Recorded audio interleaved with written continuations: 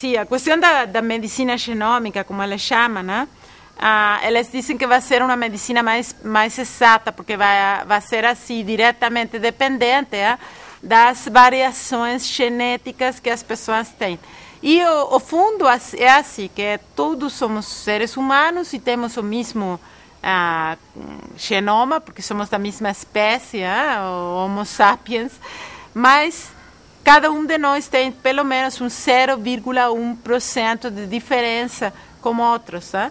Então, essas diferenças são as que fazem as, as diferentes tendências para hum, ser mais susceptível a uma enfermidade, uma doença, ou também a, a uma reação a uma droga.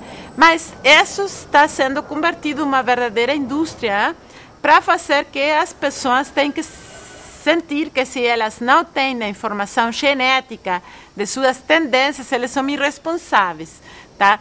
E isso é muito, isso é muito maluco, na verdade, porque mesmo se você tem uma variação que faz mais susceptível, é, isso nunca é separado ah, de todo o modo de vida, por exemplo, ah, do ambiente, das condições socioeconômicas, da qualidade da alimentação, dos produtos que você come, se come produtos frescos ou não, se está no meio ambiente que está muito polucionado ou não.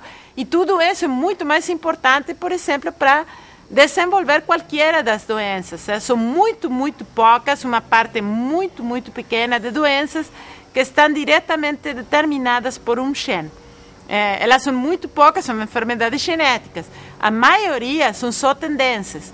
Então, no, o que faz, na verdade, quando se fala, quando se fala da, da genética aplicada à medicina, assim, por exemplo, da farmacogenômica, de fazer drogas, especializadas para a composição genética das pessoas, o que se quer é assim, ficar que as pessoas são mais culpáveis, sabe? porque tem uma composição genética que é mais fácil para hum, contrair, para ter eh, doenças, e que se você não faz alguma coisa para melhorar seu corpo, ah, você é uma carga para a sociedade. Tá? Essa é o que está por embaixo, né?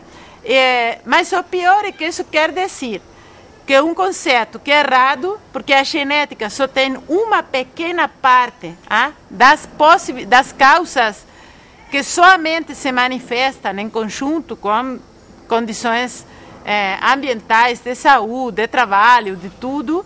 Ah, então, para não tocar nada da maioria das causas, ah, que é os problemas de saúde, ambiente, trabalho, condições laborais, a discriminação, tudo isso, para não tocar nada disso, é mais uma questão assim ah, de redução da ótica para dizer são seus genes.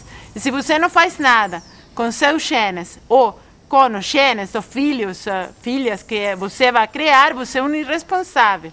Tá? Isso que está por detrás. Então, essa questão da, da, da genômica, além, além de, de, desse conceito que é, que é muito reducidor, assim, discriminador, além disso também é um grande negócio para umas poucas transnacionais, que são umas 10, 15 grandes empresas farmacêuticas e umas menos que essas, umas 10 empresas de informática e de sequenciamento que estão fazendo o negócio para ir para uma sociedade onde todo mundo tem que carregar ah, seu chip com a informação genética no bolso. Se você não faz isso para facilitar para as companhias farmacêuticas, então você vai passar a ser uma, uma carga social.